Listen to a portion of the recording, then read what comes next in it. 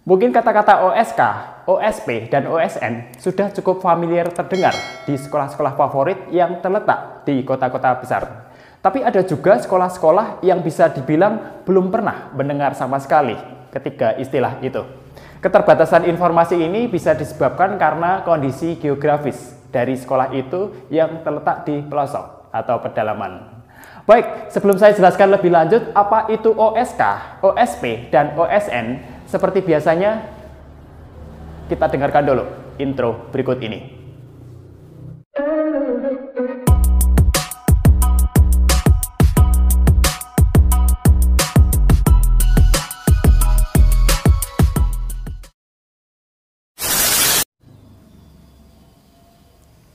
Jadi Olimpiade Sains Kabupaten adalah titik awal untuk seleksi Olimpiade Sains Nasional atau OSN dan juga titik awal pemilihan tim Olimpiade Indonesia yang nantinya akan dikirim di Olimpiade tingkat internasional seperti International Junior Science Olympiad, International Earth Science Olympiad, International Physics Olympiad, International Chemical Olympiad, International Biology Olympiad, International Mathematics Olympiad, dan lain-lain.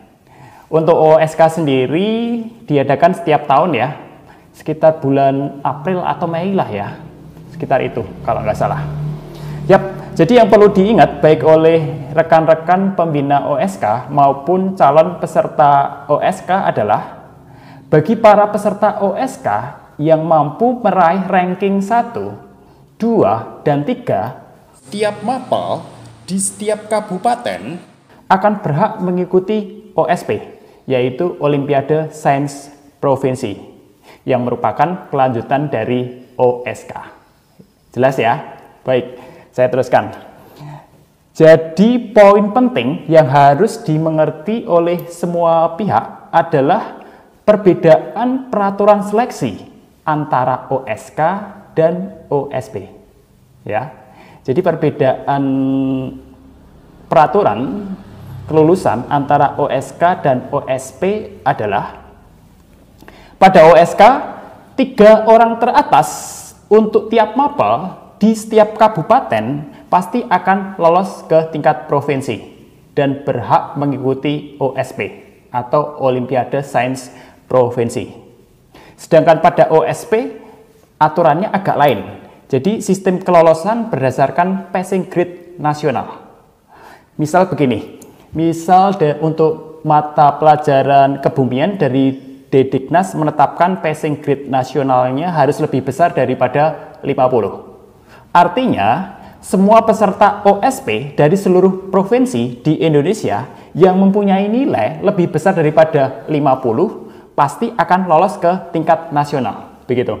Dan berhak mengikuti Olimpiade Sains Nasional atau OSN.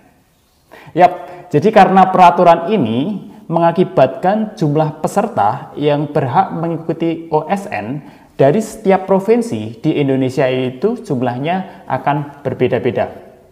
Misalnya contohnya begini, uh, dari provinsi Jawa Tengah yang bisa melewati passing grade nasional untuk mata pelajaran matematika ya misalnya, itu misalnya ada 100 orang. Artinya dari Provinsi Jawa Tengah yang berhak mengikuti Olimpiade Sains Nasional ya 100 orang itu. Kemudian dari Provinsi Jawa Timur, ini sebagai contoh saja, yang bisa melewati passing grade nasional yaitu 50, itu misalnya hanya 30 orang. ya. Berarti yang berhak mengikuti Olimpiade Sains Nasional dari Provinsi Jawa Timur jumlahnya ya hanya 30 orang. Begitu. Baik, jelas ya.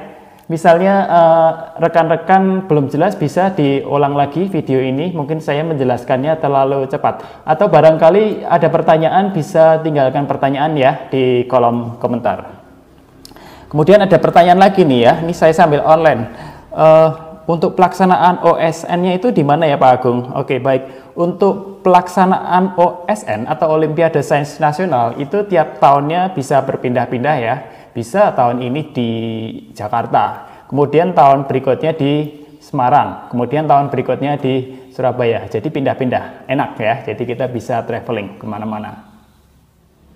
Jadi OSN atau Olimpiade Sains Nasional adalah event yang sangat bergengsi bagi para siswa SD, SMP, maupun SMA.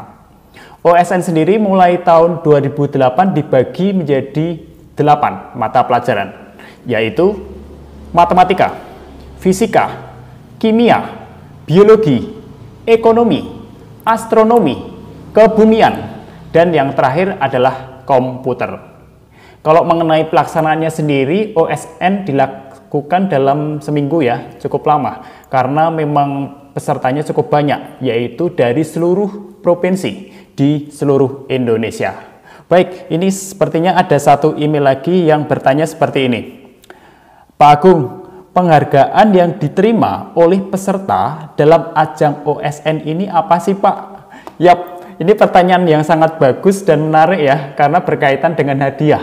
Kalau berkaitan dengan hadiah, pasti adik-adik akan senang ya. Jangankan adik-adik, orang tua juga akan senang ya kalau dikasih hadiah. Oke, jadi penghargaan yang diterima oleh peserta dalam ajang OSN itu adalah medali, yaitu lima peserta terbaik untuk setiap mapel dari seluruh Indonesia akan mendapatkan medali emas. Kemudian untuk peringkat 6 sampai peringkat 15 untuk setiap mapel dari seluruh Indonesia akan mendapatkan medali perak. Dan yang terakhir, untuk peringkat 16 sampai peringkat 30, untuk setiap mapel akan mendapatkan medali perunggu. Dan tidak cukup itu saja, biasanya para pemenang juga akan mendapatkan tabanas dari Depdiknas. Yap, ini mungkin juga perlu dicatat, khususnya untuk para peserta peraih medali emas, selanjutnya akan dipanggil oleh Depdiknas untuk dibina dan diseleksi melalui pelatnas tahap 1, pelatnas tahap 2, dan pelatnas tahap 3. Dan ingat, bagi para peserta yang lolos sampai pelatnas tahap 3 akan mewakili tim Olimpiade Indonesia di ajang Olimpiade Internasional seperti IJSO, IESO, IPHO, ICHO, IBO, IMO, dan lain-lain. Baik, mungkin itu adalah rangkaian seleksi dari mulai OSK, OSP, OSN, sampai peserta diundang oleh Depdiknas untuk mengikuti Platnas untuk mewakili tim Olimpiade Indonesia di ajang Olimpiade Internasional.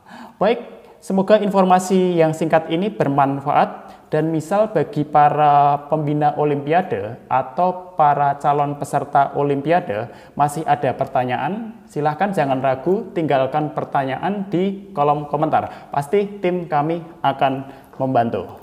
Oke, mungkin sampai di sini dulu video kita kali ini. Sampai jumpa lagi di video matematika dan motivasi pendidikan yang lainnya hanya di channel ST Agung Sujatmoko. Tetap keep spirit and sharing.